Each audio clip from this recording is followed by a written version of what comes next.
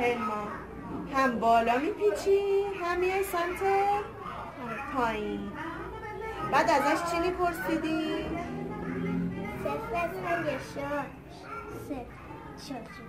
هم خوب علی یعنی خوبه؟ خیلی صفر نیست؟ خیلی شل نیست؟ نه. آفرین. بعد بعد چی نگاه می‌کردی؟ سر انگشتاشو که خیلی صفر نبسته باشن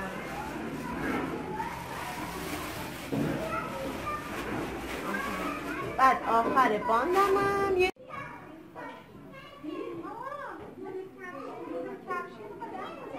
آفرین بعد ازش بعد چی میپرسیدی؟